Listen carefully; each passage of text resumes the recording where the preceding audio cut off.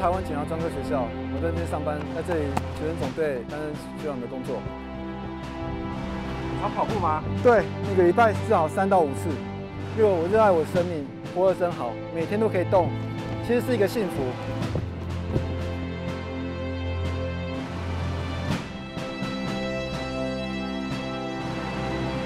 啊啊！我民国九十年的时候，因为当年是大学毕业，在那一年九十年的十月之后，就开始有很不舒服的感觉，倦怠，然后走路如果说是走一百公尺好了，哎，对我来讲，当时就是会很喘，就是以前那个一百公尺用跑步都没有像我那个时候用走路那样子喘，觉得这身体是不是太太劳累了，或是说，或者是作息的关系？那一年的十一月的时候，在经过一番辗转嘛，在台北荣总确定是得了急性骨髓性血癌。我全身都软掉了，心都碎了。要怎么急救？他说他这是急性的败血症，血癌，要亲属先先抽血，抽说不合，不合呢，医生很好，他说去找慈济的。我说好，就这样子找慈济的。第一次去见到慈济志工的话是在病房里面，那个时候应该是住做第一次化学治疗的时候，那个时候认识彷徨无助。寻求配对的过程中，那个机会是渺茫。慈济志工啊，就是无微不至的关心陪伴，就是非常感动。他是一个非常可爱也非常勇敢的一个年轻人。当他那个时候在吴俊市接受移植的时候，刚刚好是我们的大都路有常常有飙车，他就讲说：“师姑师姑，你帮我去跟这些年轻人讲，你看我生病了，我都还要为了生命在这边努力在奋斗，他们为什么这么不珍惜生命？”对，知心。当初没有把当警察当做自己的志愿，但是就是因为在接受生病以及一连串艰辛的治疗，乃至于骨髓移植的配对成功，在这过程中中，蛮多的受到社会大众的支持，还有慈济人的鼓励。病愈之后，我想要回馈社会，而我觉得警察是一个正向的职业，而且帮助了很多人。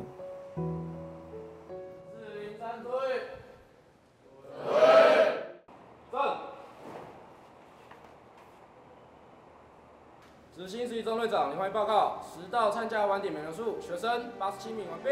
他考上警官呃大学的研究所的时候，他就拿着他的录取的通知单到我家里来。这个就是让我觉得说，他这一个孩子很懂事。他觉得说，我们在一路这样陪伴的时候，我们都希望他能够健康起来。所以他现在健康了，他就要想要回馈。赶快告诉你，我很健康，这也是让我觉得我很开心，也很觉得在陪伴的过程里面，呃，看到了生命重生的一个现象，让你有很有勇气去走下去。谢谢各位，谢谢各位，各位晚安。我在他们身上就看到当初的我自己，所以我很喜欢跟他们相处在一起，所以我会。投入警察教育的职场，这个做育英才这个行列哦，已经今年十一年，重大伤病卡，有朝一日我要站起来，我要把我的故事告诉很多人，说哦，我们不要妄自菲薄，我们要对自己有信心，要自己要加油。哇，真好，有火就要动。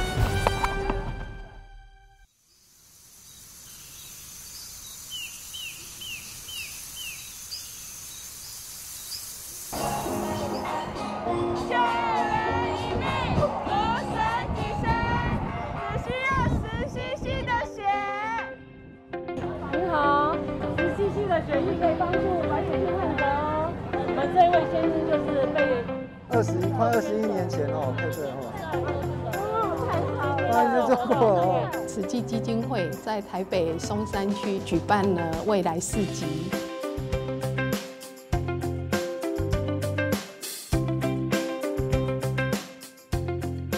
他给了我们骨髓干细胞中心一个宣导摊位。我们现在要强化宣导，就是希望多招募年轻人来。加入资料库建档。因为骨髓干细胞中心面临一个比较大的挑战，是四十六万多笔建档者里面有五分之一是超过捐赠年龄上限五十五岁。卢医师好，卢医师感恩感恩你的爱，今天都要来当义工。好好好，那太好了，太欢迎了，感恩你们哦。我们要请你们穿背心好吗？韩警官，我帮你穿一下，这个前面有扣扣。要打开，对，然后把它转过来穿。你那么百忙之中还特别过来。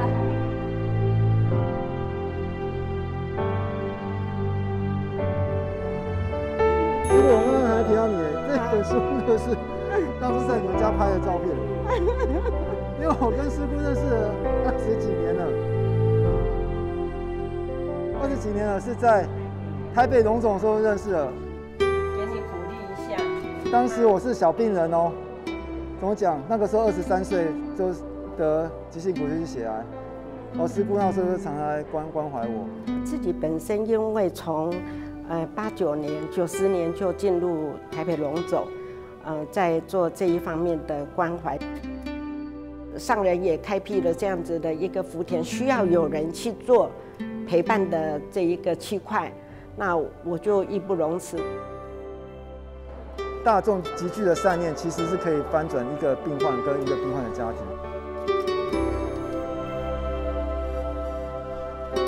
伸出双手，这十 CC 的建档，不代表说一定可以帮，但是这是一个希望。特别是像我们今天有类似这样的捐血的建档活动，哎，这些善心的大德，他就是捐出他的十 CC 的协议，他可以。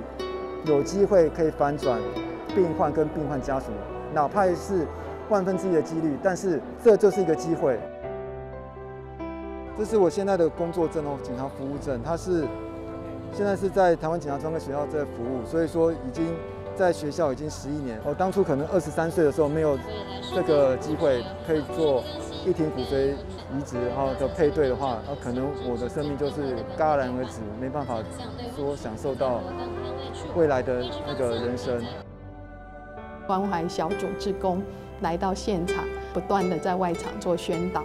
那只要在外场这边有招募到有心想要听解说或者认同造血干细胞捐赠观念的会众大德，我们都会请他们进来直进这个验血活动场地，然后经过解说、填表之后，再抽个十 cc 血样，要送回。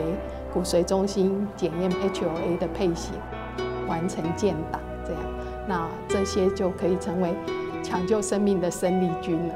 这个我们这有点像捐血中心的分离式收集血小板的方式。他是医师哦，九十九到九十八都是使用这种方式的，比较少进开刀房在做那个。呃，对，传统观念对对对，要进开刀房，用那种模式抽取那个骨髓。我刚刚在家有稍微研，对，有这边聊了研究一下，对。从陌生人人群里面要找一个人，请他来参与建堂，真的是不容易的一件事情。那因为我本身是医师，是医疗从业人员，这方面有一些专业知识的的策略跟了解。很多陌生的朋友们，他们因为可能是第一次接触到这个骨髓干细胞的建档活动，还算是蛮陌生的，不够了解。啊，因为我本身有捐赠过，那也有这方面的一些专业知识的策略，所以可以在现场给予他们一些分享跟协助。卢医师讲你你大概停药后几天没有症状？我大概三天到五天左右，大概就都没感觉。对，其实有亲身体验过的捐血者啊，来现场跟我们说明，会让我们更放心这个东西，会更有意愿去参加这个活动。他是最好的见证者，见证说捐髓救人无损己身，所以我们常跟捐者说。你只要来付出，加入自工行列，你救的就不止你那个有缘人，你可以救更多病人。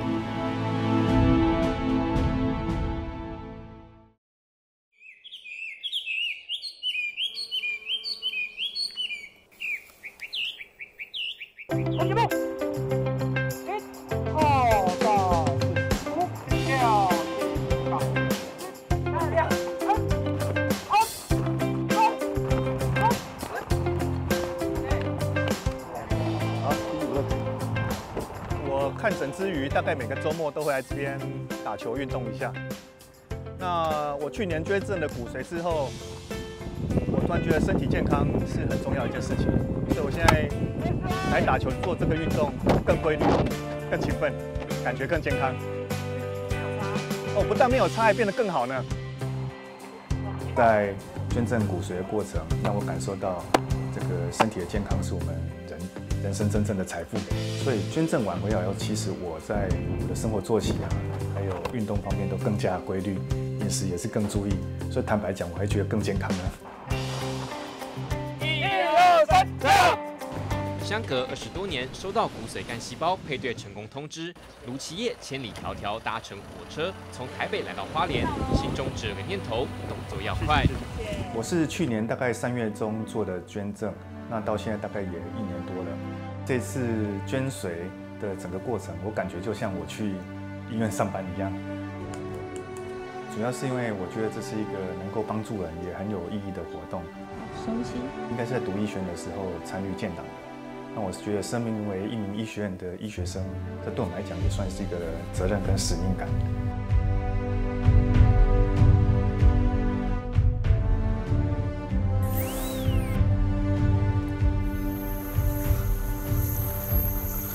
实，对于骨髓移植，能够来协助这位病友的医院、医生、机器、药物，都是很多可以被取代的。也就是说，可能很多医师可以帮你，很多药物可以帮你，很多医院可以帮你。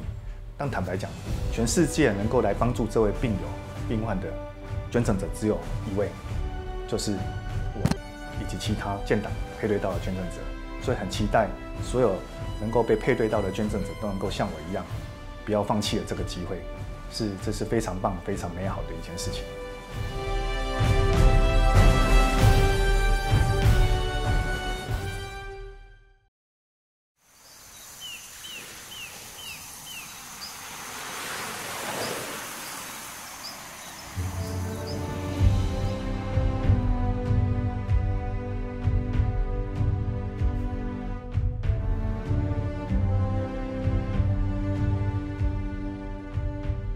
模型是男人的梦想，会很酷。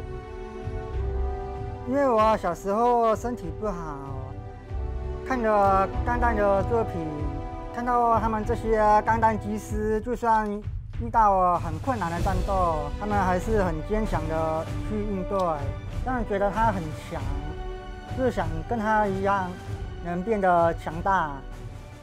啊，不要碰到旁边的。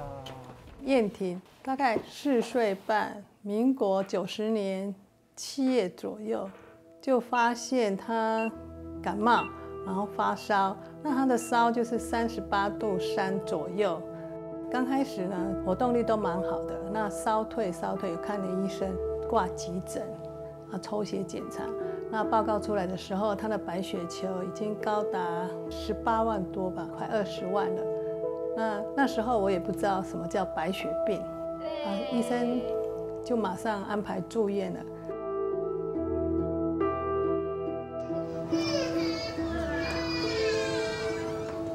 燕婷那时候，她因为她是最高风险的血癌，哦，所以她用的治疗很强，副作用也很大。我记得她那时候有肾脏的毒性啊，还有脑部的毒性啊，曾经到过加护病房。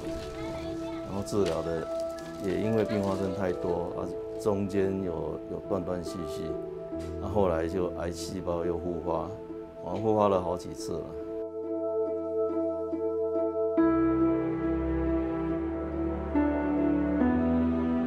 第一次生病的时候就住了八个多月，然后他就不治疗。后来我们有带他到花莲的那个海洋公园吧，哎呀，就说哎，你要不要来这边？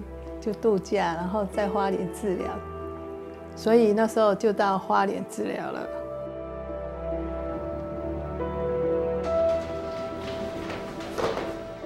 因为那个时候我们也刚建好，在东部刚开始做的骨髓移植病房，那个骨髓移植病房相当好。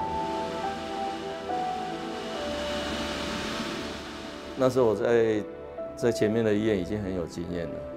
但是慈济那边是刚开始，但是因为这个遗址整个过程其实是相当复杂的过程，而且整个东部都还没有做过，哦，所以但是郑岩老师是很希望把它建立起来，哦，所以我们那时候是投资了很多，哦，除了病房在同时进行以外，哦，在病房起来之前，哦，他就找了一批人，哦，相关的人，哦，包括护理，包括药师，我们做一年左右的训练，哦，就把相关需要知道的，哦，需要一些技能，哦，这些整个建立起来。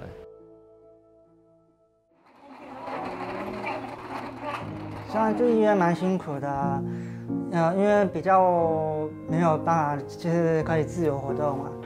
那我还是撑过来了。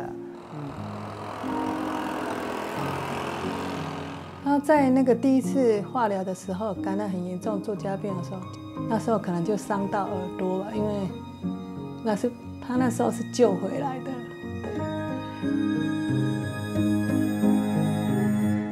再过来就骨髓移植也排斥的很严重，听力受损更更严重。他是重度的听障，虽然有戴助听器，可是我们讲话的速度很快，那对他们来说还有环境的嘈杂，对他们听的话会比较吃力一点。你的饭要加什么吗？这样听不到。你的饭要加什么吗？啊？饭要加什么吗？饭还有点热热的，这样可以哈？可以吗？所以有时候你花姐我在跟他讲的时候，他好像没有听到，是吗？嗯，哦，对。你是？因为对客人不能马虎。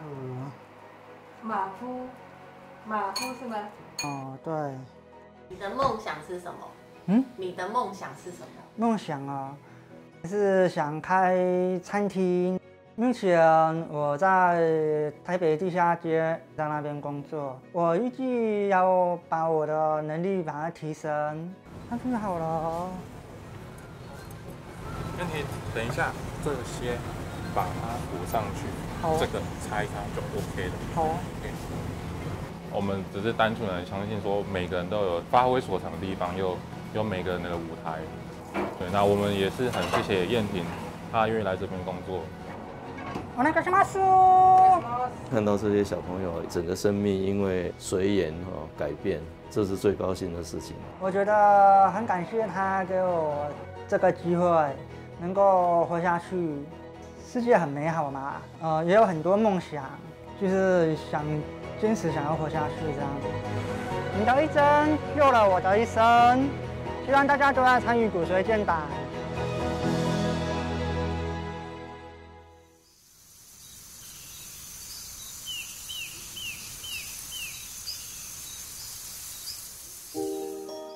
民国八十二年，呃，立法院三读通过，就是废止了骨髓移植捐赠必须要三等亲以内的限制。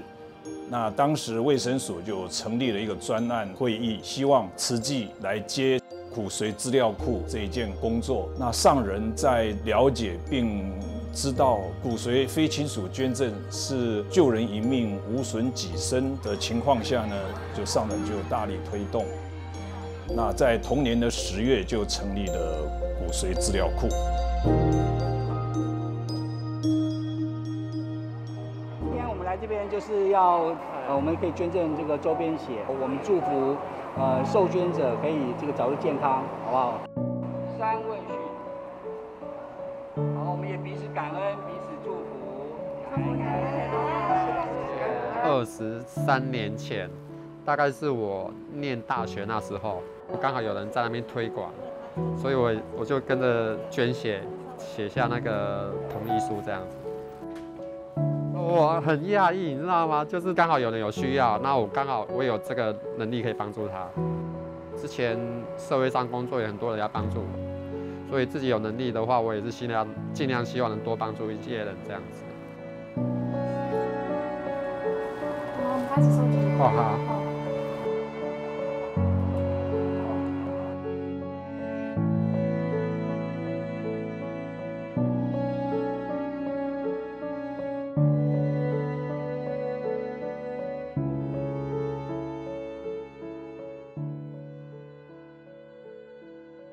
对捐赠者来说，他也是一样啊，他也是要牺牲他的假日，也是要在术前要来回的检查，打针的时候天天都要跑来，人多少有那么一点不舒服，而且他跟受赠者素昧平生，一下会有点痛哦。啊，好，谢谢医生，谢谢。也不能见面，也不求任何回报，真的是非常令人感动。好，我要拔针哦。好，还有师兄师姐们也是一路的陪伴，也是让我非常感动。那我只是在这个团队当中，也只是一个小小的螺丝钉而已。